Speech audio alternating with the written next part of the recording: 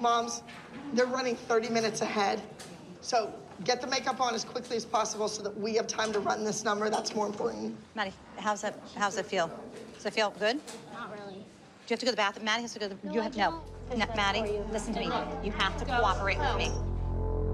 We had 30 minutes to get our kids ready. They had to be stretched. We had to put French twists in their hair, fake eyelashes, all their makeup. It was crazy.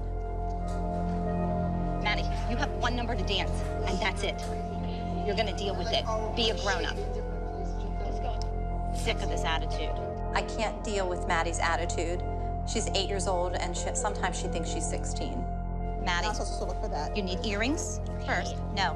Maddie, calm down, please. I'm a perfectionist. I don't like to be rushed when I'm doing my makeup and hair. Guess what? Do you want to go home? You're never like this. Stop it.